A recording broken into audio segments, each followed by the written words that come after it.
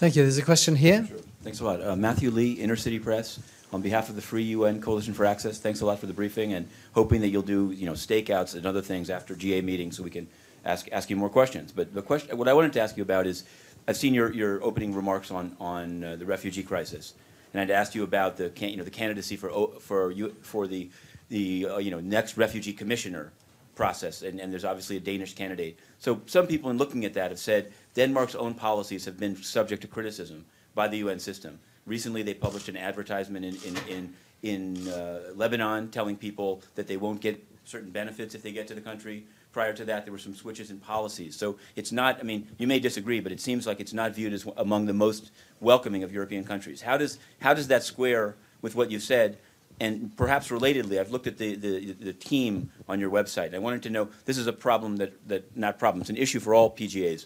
How many of the positions in your office are funded by the UN, and how many are funded by countries, i.e. seconded staff, and are all, all, you know, it seems like there may be six or seven that are from Denmark. Are they all funded by the Danish government? And do all the staff in your office work during this year entirely for the UN system? Thanks. I can say for sure, for myself, and that means also for the staff, we are all working for the UN system.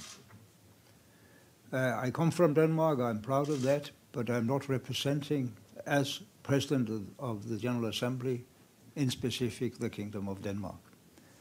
That's, that's one thing.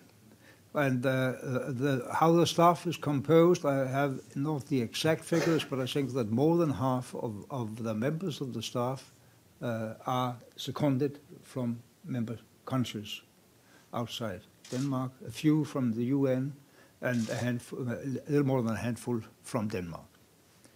That, that's the composition of, of, of the 30 men and women we have in the cabinet.